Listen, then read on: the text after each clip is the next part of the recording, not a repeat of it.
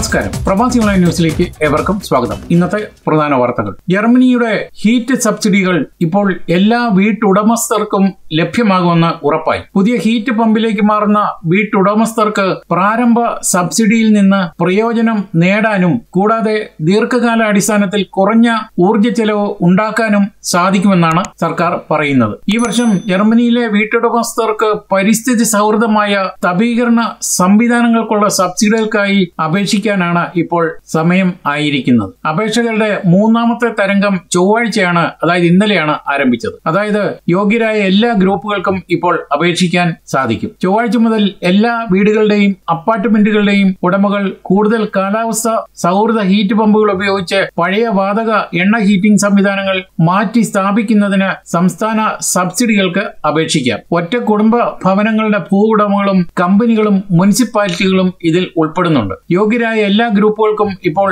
അപേക്ഷിക്കാൻ കഴിയുന്ന ഹീറ്റിംഗ് ആക്ടിന്റെ മൂന്നാമത്തെയും അവസാനത്തെയും ഫണ്ടിംഗ് റൗണ്ടായിട്ടാണ് ഇത് കണക്കാക്കുന്നത്. ഈ വർഷം ആദ്യം അപ്പാർട്ട്മെന്റുകളും കെട്ടിടങ്ങളും അവരുടെ ഉടമസ്ഥയിലുള്ള സിംഗിൾ ഫാമിലി ഹോമുകളുടെയും സ്വകാര്യ ഉടമകൾക്കും സെൻട്രൽ ഹീറ്റിംഗ് ഉള്ള കോണ്ടോമിനിയം ഉടമകളുടെ അസോസിയേഷനുകൾക്കും അപേക്ഷകൾ തുറന്നു നൽകിയിരുന്നു. മാറ്റി സ്ഥാപിക്കാനുള്ള ചെലവിന്റെ എഴുപത് ശതമാനം വരെ ഗ്രാന്റുകളാണ് ഇപ്പോൾ ഉൾക്കൊള്ളുന്നത്. റെസിഡൻഷ്യൽ അല്ലെങ്കിൽ വാണിജ്യ കെട്ടിടങ്ങൾക്കായി ഒരു ഹീറ്റ് പമ്പ് സിസ്റ്റം ഉപയോഗിച്ച് ഓയിൽ അല്ലെങ്കിൽ ഗ്യാസ് ബർണറിന് പകരം വെക്കുന്നതിന് ചെലവിന്റെ മുപ്പത് ശതമാനമെങ്കിലും ഉൾക്കൊള്ളുന്ന തരത്തിലാണ് തപീകരണ ഗ്രാന്റുകൾ രൂപകൽപ്പന ചെയ്തിരിക്കുന്നത്. ചില സന്ദർഭങ്ങളിൽ വരുമാനം തപീകരണ സംവിധാനം മാറ്റി സ്ഥാപിക്കുന്നതിന്റെ വേഗതയും നടപ്പാക്കലും എന്നിവയെ ആശ്രയിച്ച് ഇൻസ്റ്റാൾമെന്റ് ചെലവിന്റെ എഴുപത് ശതമാനം വരെയാണ് പരിരക്ഷ ലഭിക്കുക. ഓരോരുത്തരുടെയും വസ്തുവിൽ തന്നെ താമസിക്കുന്ന ഉടമകൾക്ക് നികുതി വിധേയമായ ഗാർഹിക വാർഷിക വരുമാനത്തിന്റെ നാൽപ്പതിനായിരം യൂറോ വരെ ആണ് ഇത് നൽകുന്നത്. അടിസ്ഥാന മുപ്പത് ശതമാനം സബ്സിഡിയായി സാധാരണയായി ബാധകമാവും. രണ്ടായിരത്തി ഇരുപത്തി എട്ടോടെ പഴയ ഗ്യാസ് ഓയിൽ ഹീറ്റിംഗ് സിസ്റ്റങ്ങൾ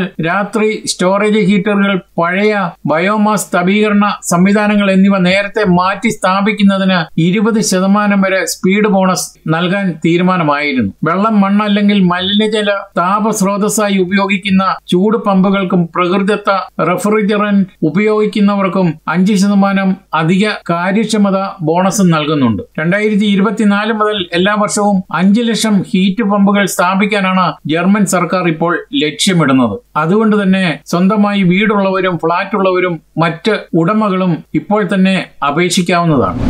ജർമ്മൻ പോലീസ് കത്തിധാരിയെ വെടിവെച്ചു കൊന്നു. ജർമ്മനിയിലെ പടിഞ്ഞാറൻ സംസ്ഥാനമായ നോർത്തറൈൻ വെസ്റ്റ്വാളിയിലെ ചെറിയ പട്ടണമായ മൊയേഴ്സിൽ വഴിയാത്രക്കാരെ കത്തിക്കൊണ്ട് ആക്രമിച്ചെന്ന് സംശയിക്കുന്ന ഇരുപത്തിയാറുകാരനെ ജർമ്മൻ പോലീസ് വെടിവെച്ച് കൊല്ലുകയായിരുന്നു. ചൊവ്വാഴ്ചയാണ് സംഭവം. ചൊവ്വാഴ്ച ഉച്ചകഴിഞ്ഞ് രണ്ട് നാൽപ്പത്തിയഞ്ചോടെ എമർജൻസി സർവീസുകളെ വിളിച്ച് ഒരാൾ പട്ടണത്തിൽ നിരവധി യാത്രക്കാരെ ആക്രമിക്കുകയും ഭീഷണിപ്പെടുത്തുകയും ചെയ്തതായി ഡോയിസ്ബർഗ് പോലീസ് പ്രസ്താവനയിലൂടെ അറിയിച്ചു. ഇരുപത്തിയാറുകാരനായ പ്രതി കയ്യിൽ രണ്ട് കത്തികളുമായിട്ടാണ് ആക്രമിച്ചെന്നാണ് പോലീസ് പറഞ്ഞത്. എന്നാൽ മറ്റാളുകൾക്ക് പരിക്കേറ്റിട്ടില്ലെന്നും പോലീസ് അറിയിച്ചു. മൊയേഴ്സിൽ നിന്ന് നാൽപ്പത്തി കിലോമീറ്റർ അകലെ സോളിങ്ങിനിൽ നടന്ന തെരുവുത്സവത്തിന് വെള്ളിയാഴ്ച നടന്ന കത്തി ആക്രമണം നാലു പേർ കൊല്ലപ്പെടുകയും എട്ട് പേർക്ക് പരിക്കേൽക്കുകയും ചെയ്തതിനെ തുടർന്നുള്ള സംഭവത്തിൽ ജർമ്മനി അതീവ ജാഗ്രതയിൽ ഇരിക്കുമ്പോഴാണ് വീണ്ടും ഒരു കത്തിയാക്രമണം റിപ്പോർട്ട് ചെയ്യുന്നത്. ഇസ്ലാമിക് സ്റ്റേറ്റ് ഗ്രൂപ്പുമായി ബന്ധമുണ്ടെന്ന് സംശയിക്കുന്ന ഇരുപത്തിയാറുകാരനായ സിറിയക്കാരനാണ് അക്രമം നടത്തിയെന്നാണ് പോലീസ് സോളിങ്ങൻ സംഭവത്തിൽ പറഞ്ഞത്. അതേസമയം ശക്തമായ ആയുധ നിയന്ത്രണങ്ങൾ വളരെ വേഗത്തിൽ വരും എന്ന്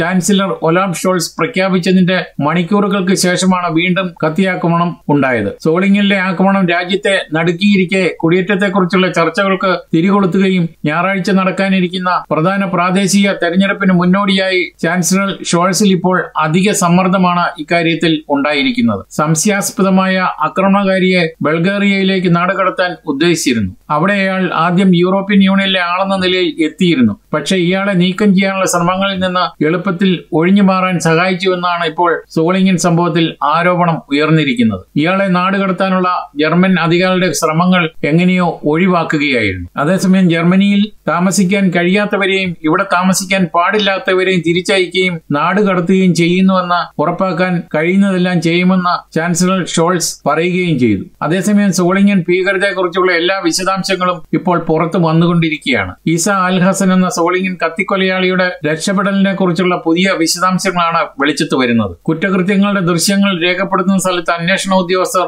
ഇപ്പോഴും തുടരുകയാണ്. പബ്ലിക് പ്രോസിക്യൂട്ടറുടെ ഉത്തരവനുസരിച്ച് ലൂയിസ്ബർഗ് പോലീസ് ആസ്ഥാനം അന്വേഷണം ഏറ്റെടുക്കുകയും കൊലപാതക സ്ക്വാഡ് രൂപീകരിക്കുകയും ചെയ്തു. ഉൾപ്പെട്ട പോലീസ് ഉദ്യോഗസ്ഥരുടെ സർവീസ് ആയുധങ്ങളും ബോഡി ക്യാമറകളും ഇപ്പോൾ പരിശോധിച്ചു വരികയാണ്. സോളിംഗൻ സംഭവത്തിൽ അറസ്റ്റിലായ സിറിയക്കാരന്റെ നടപടികളുടെ ഉത്തരവാദിത്വം ഭീകരവാദികളായ ഇസ്ലാമിക് സ്റ്റേറ്റ് ഏറ്റെടുക്കുകയും ചെയ്തു. അതേസമയം സോളിങ്ങിലെ കത്തിയാക്രമണത്തിൽ ഗുരുതരമായി പരിക്കേറ്റ അൻപത്തിയാറുകാരിയായ ഫാർമസിസ്റ്റ് ബുധനാഴ്ച മരിച്ചു. ഇവരുടെ അകാല മരണത്തിൽ ജർമ്മൻ ഫാർമസി ചേംബർ അനുശോചിക്കുകയും ചെയ്തു. സോളിംഗൻ ഭീകരത ചുറ്റിപ്പറ്റിയുള്ള അഴിമതി കൂടുതൽ ഭ്രാന്തമാവുകയാണ്. ഈ വർഷത്തെ നാടുകടത്തൽ വലിയൊരു അഴിമതിയായി കണക്കാക്കപ്പെടുന്നു. സംശയിക്കപ്പെടുന്ന ഇസ്ലാമിസ്റ്റ് സോളിങ്ങിൻ ഭീകരൻ ഇസ അൽ ഹസനെ ഔദ്യോഗിക അനാസ്ഥ കാരണം നാട് കടത്തിയില്ല. ഇമിഗ്രേഷൻ ഓഫീസ് ഒരിക്കൽ മാത്രം വിളിച്ചതിനാൽ സിറിയക്കാരൻ അവിടെ ഇല്ലായിരുന്നു എന്നാണ് പറയുന്നത്. അതേസമയം അയാൾ ജർമ്മനിയിൽ താമസിക്കുകയും ചെയ്തു. എന്നാൽ ഇയാളെ രണ്ടാമതും നാട് കടത്താൻ അധികാരികൾ ശ്രമിക്കാത്തത് എന്തുകൊണ്ടാണെന്ന ചോദ്യം ഉയർന്നിരിക്കുകയാണ്. കാരണം ജർമ്മൻ അഭയ സമ്പ്രദായത്തെക്കുറിച്ച് ഞെട്ടിക്കുന്ന ഉൾക്കാഴ്ചകളാണ് ഉണ്ടാകുന്നത്. വിശദാംശങ്ങൾ അധികാരികളെ ശരിക്കും ഇപ്പോൾ ഭയപ്പെടുത്തുകയാണ്. ജർമ്മൻ അധികാരികൾ ആശങ്കയിലാണ്. സോളിംഗൻ ഭീകരനെ കുറിച്ചുള്ള കാര്യങ്ങൾ ആശങ്കപ്പെടുത്തുകയാണ്. രണ്ടാം തവണയും ഇയാളെ നാടുകടത്താൻ എമിഗ്രേഷൻ അധികൃതർ ശ്രമിച്ചില്ല എന്നാണ് ആരോപണം ഉയർന്നിരിക്കുന്നത്. ആറുമാസത്തെ നാടുകടത്തൽ കാലാവധി അവസാനിച്ചതിന് ശേഷം ഇയാൾ ഇവിടെ വീണ്ടും ജീവിക്കുകയും ചെയ്തു. അതേസമയം ഇയാളിലേക്ക് പണം ഒഴുകിക്കൊണ്ടിരുന്നു. ആറു മാസത്തിനുള്ളിൽ ഇയാളെ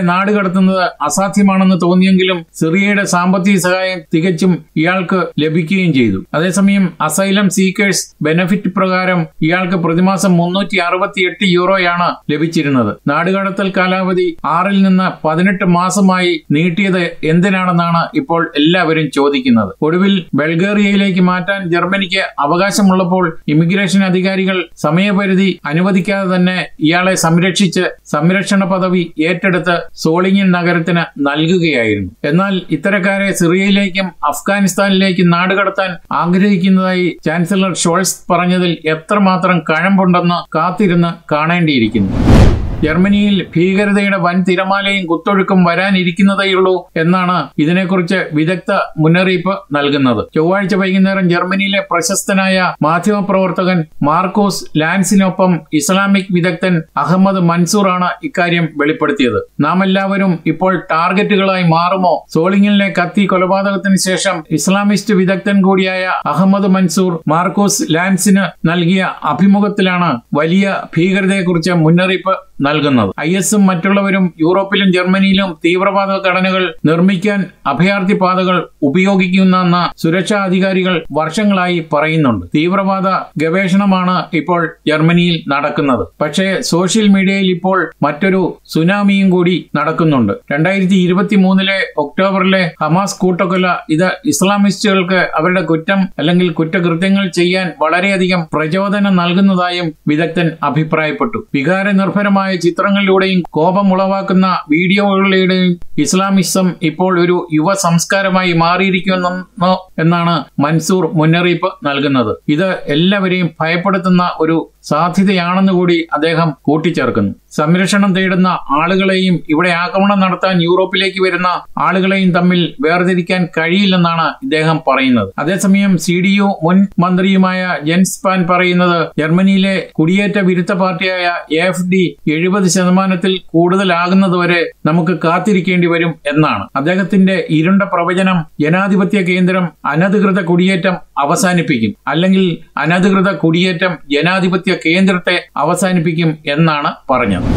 യു കെ പ്രധാനമന്ത്രി കെയർ സ്റ്റാർമർ ബുധനാഴ്ച ജർമ്മനിയിലെത്തി. ഏഴാഴ്ച മുമ്പ് അധികാരമേറ്റതിനു ശേഷമുള്ള അദ്ദേഹത്തിന്റെ ആദ്യ സന്ദർശനമാണിത്. German president Frank Walter Steinmeier chancellor Olaf ഷോൾസുമായുള്ള ചർച്ചകൾക്ക് സ്റ്റാർമറിനെ സ്വാഗതം ചെയ്തിട്ടുണ്ട്. സ്റ്റാർമറിനെ ബെർലിനിൽ സൈനിക ബഹുമതികളോടെയാണ് സ്വീകരിച്ചത്. സ്റ്റാർമർ പ്രധാനമന്ത്രിയായതിനു ശേഷം ഇരു നേതാക്കളും കൂടിക്കാഴ്ച നടത്തിയിരുന്നു. ജൂലൈ ആദ്യം വാഷിംഗ്ടണിലും തുടർന്ന് നടന്ന നാറ്റോ ഉച്ചകോടിയിലും ഇവർ പങ്കെടുത്തിരുന്നു. ഉയർന്ന ആകാശ ചെലവ് കാരണം റയാൻ എയർ ബെർലിനിലേക്കുള്ള വിമാനങ്ങൾ വെട്ടിക്കുറച്ചു. ഉയർന്ന അക്സസ് ചെലവ് കാരണം ബെർലിൻ ബ്രാൻഡംബർഗ് വിമാനത്താവളത്തിലേക്കുള്ള ട്രാഫിക്കിന്റെ അഞ്ചിലൊന്ന് കുറയ്ക്കാനാണ് ഐറിഷ് ബജറ്റ് എയർലൈൻ തീരുമാനിച്ചിരിക്കുന്നത്. അടുത്ത വേനൽക്കാലത്ത് ആരംഭിക്കുന്ന ബെർലിൻ ബ്രാൻഡംബർഗ് വിമാനത്താവളത്തിലെ ഗതാഗതം ഇരുപത് ശതമാനം വെട്ടിക്കുറയ്ക്കുമെന്നാണ് അറിയിച്ചത്. ഇരുപത്തിനാല് ശതമാനം വ്യോമയാന നികുതി വർദ്ധിപ്പിച്ച് ഉയർന്ന പ്രവേശന ചെലവും ജർമ്മൻ സർക്കാർ നയവും റിയാൻ എയർ കുറ്റപ്പെടുത്തി. ജർമ്മനി തങ്ങളുടെ ആവശ്യങ്ങൾ നിറവേറ്റുന്നില്ലെങ്കിൽ ജർമ്മൻ തലസ്ഥാനത്തെ സാന്നിധ്യം കുറയ്ക്കാനും ശേഷി മറ്റ് യൂറോപ്യൻ യൂണിയൻ രാജ്യങ്ങളിലേക്ക് മാറ്റാനും പദ്ധതി ഉണ്ടാക്കിയിട്ടുണ്ടെന്നാണ് മുന്നറിയിപ്പ്. Brussels Crete Lithuania Krakow Luxembourg Latvian Riga തുടങ്ങിയ സ്ഥലങ്ങളിലേക്കുള്ള റൂട്ടുകളും നഷ്ടപ്പെടും. അതേസമയം ഇറ്റലി പോളണ്ട് സ്പെയിൻ തുടങ്ങിയ കുറഞ്ഞ ചെലവുള്ള യൂറോപ്യൻ യൂണിയൻ രാജ്യങ്ങളിലേക്കുള്ള ശേഷി മാറ്റുമെന്നും ബജറ്റ് എയർലൈൻസായ ആയ എയർ അറിയിച്ചു. കാനഡയിലെ ഫെഡറൽ ഇമിഗ്രേഷൻ നയത്തിൽ അടുത്ത കാലത്തുണ്ടായ മാറ്റത്തിന്റെ ഇരകളായ എഴുപതിനായിരം വിദേശ വിദ്യാർത്ഥികൾ നാടുകടത്തൽ ഭീഷണിയിലായി. ഇതിൽ ഏറ്റവും അധികം ഇന്ത്യൻ വിദ്യാർത്ഥികളാണ് ഉൾപ്പെടുന്നത്. ഇത്തരക്കാർ ഇപ്പോൾ പ്രതിഷേധത്തിലേക്ക് നീങ്ങുമെന്നും പറയുന്നുണ്ട്. കാനഡയുടെ കുടിയേറ്റ നയങ്ങളിലുണ്ടായ മാറ്റമാണ് ഇതിന് കാരണം. ജസ്റ്റിൻ ട്രൂഡോയുടെ സ്റ്റഡി പെർമിറ്റുകൾ പരിമിതപ്പെടുത്താനും പെർമനന്റ് റെസിഡൻസി നോമിനേഷനുകൾ കുറയ്ക്കാനുമുള്ള തീരുമാനത്തിനെതിരെ ഇപ്പോൾ പ്രതിഷേധിക്കുകയാണ്. വിദേശ വിദ്യാർത്ഥികൾ ഇപ്പോൾ രാജ്യത്ത് പ്രതിഷേധം സംഘടിപ്പിച്ചുകൊണ്ടിരിക്കുകയാണ് Prince Edward Island Ontario Manitoba British Columbia എന്നിവ എന്നിവ ഉൾപ്പെടെ ഒട്ടുമിക്ക പ്രവിശ്യകളിലും വിദേശ വിദ്യാർത്ഥികൾ പ്രതിഷേധ റാലികൾ സംഘടിപ്പിക്കുകയാണ്. ഈ വർഷം അവസാനത്തോടെ വർക്ക് പെർമിറ്റ് കാലാവധി തീരുമ്പോൾ നിരവധി ഗ്രാജുവേറ്റുകൾക്ക് കാനഡ വിട്ടുപോകേണ്ടി വരുമെന്നാണ് സൂചന. പെർമനന്റ് റെസിഡൻസി നോമിനേഷനുകൾ ഇരുപത്തി അഞ്ച് ശതമാനത്തോളം വെട്ടിക്കുറച്ചതും വിദ്യാർത്ഥികൾക്ക് തിരിച്ചടിയായി. ഇക്കൊല്ലം മൂന്ന് ലക്ഷത്തി അറുപതിനായിരം സ്റ്റഡി പെർമിറ്റുകൾ മാത്രമേ അനുവദിക്കുകയുള്ളൂ എന്നും റിപ്പോർട്ടുണ്ട്. കഴിഞ്ഞ വർഷത്തേതിന്റെ മുപ്പത്തി അഞ്ച് ശതമാനം കുറവാണിത്.